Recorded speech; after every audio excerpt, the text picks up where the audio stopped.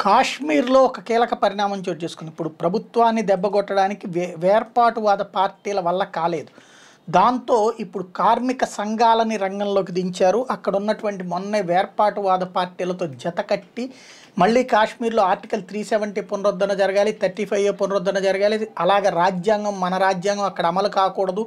అలాగే పాత పద్ధతిలో ఇక్కడ రాజ్యాంగాన్ని అమలు కానివ్వనటువంటి విధంగా కాశ్మీర్ ఉండాలని నిర్ణయం తీసుకున్నటువంటి కమ్యూనిస్టుల ప్రోద్బలంతో తాజాగా అక్కడ ఎలక్ట్రిసిటీ వింగ్లో ఆందోళనకు దిగారు ఎంప్లాయీస్ స్ట్రైక్ ప్రకటించారు. దీంతో ఆర్మీ రంగంలోకి దిగింది.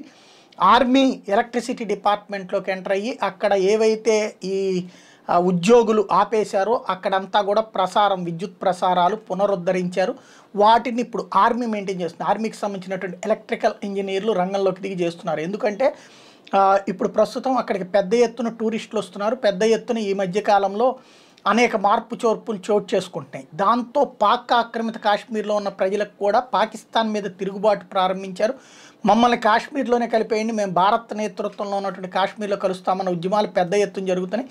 పాకిస్తాన్ నుండి స్వతంత్రం కావాలన్నటువంటి జరుగుతుంది. అట్లాంటి సందర్భంలో కాశ్మీర్లో ఏదో ఒక రచ్చ చేసి అక్కడ చీకటి లేదా గందరగోళం సృష్టిస్తే అక్కడ వ్యాపారాలు ఇవన్నీ దెబ్బతీస్తే తద్వారా మళ్ళీ ఇక్కడ ఉన్నటువంటి కాశ్మీర్ ప్రాంతంలో ఉన్నటువంటి వాళ్ళు కూడా మాకు ఇక్కడ వద్దు అనేటువంటి కోణానికి రావాలన్నటువంటి దానికోసం జరుగుతున్నటువంటి కుట్రకి ప్రస్తుతం చెక్ పెట్టింది సైన్యం ఈ రూట్లో.